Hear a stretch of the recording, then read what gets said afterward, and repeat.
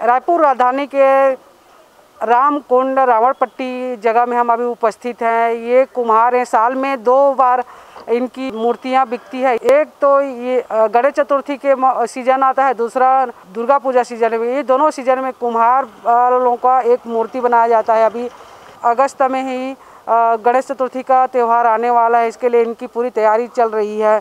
ये हमारे साथ कुम्हार जो है, मूर्ति बनाने का मूर्तिकार यहाँ पर हमारे साथ उपस्थित हैं। अभी कितनी मूर्ति बनाई गई है और कैसा तैयारी चल रहा है अभी जो सीज़न आ रहा है गणपति उत्सव का?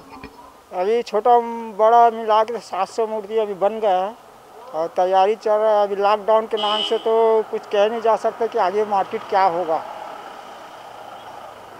ये जो मूर्तियाँ आप बनाते हैं वो क्या क्या मिट्टी से मिल के बनाते हैं? किस तरह से बनाते हैं आप? ये खेत की मिट्टी है जो धान उगता है वही मिट्टी है। इसमें मिलाते हैं पैरा कुट्टी है राखड़ वगैरह मिला के मिक्स करके मूर्ति को बनाते हैं।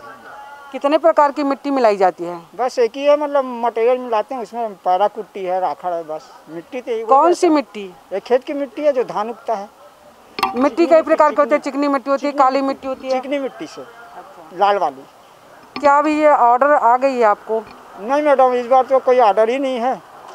बड़ी मूर्ति का तो कोई ग्राहक भी नहीं है और छोटे मूर्ति का छूट फूट है जो पूछताछ करके छोटा मोटा बुकिंग कर रहे हैं अभी। लगातार लॉकडाउन चल रहा है तो इस लॉकडाउन के दौरान आप लोगों का किस तरह से प्रभाव पड़ेगा? अब उसको तो मार्केटिंग खुलेगा तो उसको मालूम चलेगा तो अभी तो कुछ नहीं है। एकदम बिल्कुल सादा सादा चल रहा है काम। अभी कोई ये नहीं है। पिछले वर्षों को देखें तो उस उस वर्ष को देखते हुए इस वर्ष कैसा लग रहा है आपको? बहुत डाउन है इस साल। पिछले साल तो बहुत अच्छा था मार्केटिंग लेकिन मतलब अपना एक ही महीने से बुकिंग मूर्ति बिकना चालू हो जाता था, लेकिन इस बार कुछ नहीं है ऐसा।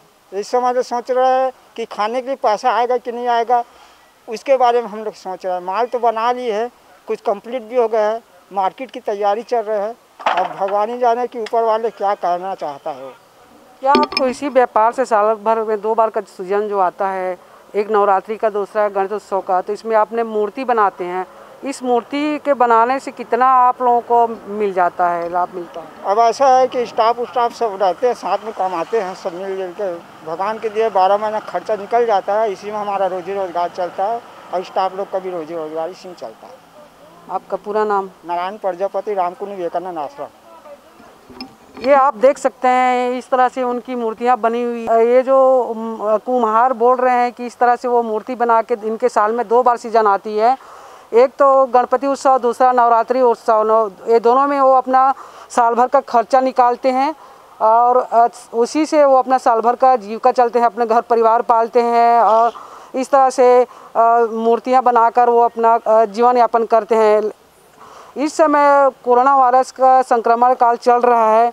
और इस दौरान इनका कहना है कि पिछले वर्ष के तौर पे देखें तो इस वर्ष उनको ऑर्डर अभी तक नहीं आया है और उनके व्यापार पर इनको भारी घाटा होने का उन्होंने व्यक्त किया है। कैमरामैन अरुण जंगल के साथ मैं चित्रपट टी सी रायपुर।